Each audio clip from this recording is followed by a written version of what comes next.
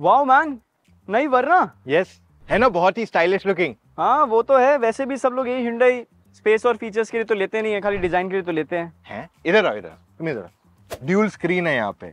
ठीक है?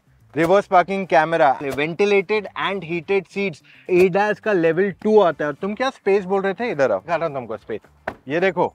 गाड़ी में कितनी जगह है? व्हील बेस बढ़ गया तो इस वजह से ओवरऑल नी रूम कितनी बढ़ गई है गाड़ी के अंदर? वो तो ठीक है स्पेस और फीचर्स दे दिया बट पावर तो होगी नहीं अब। अरे यार तुम फिर शुरू हो गए। 1.5 लीटर टर्बो पेट्रोल आती है डीसीटी गियर बॉक्स के साथ 160 bhp ये पूरे सेगमेंट में सबसे पावरफुल गाड़ी है ये। एक सेकेंड अरे इतनी महँगी गाड़ी है इसमें रियर वाइपर तो दिया नहीं है।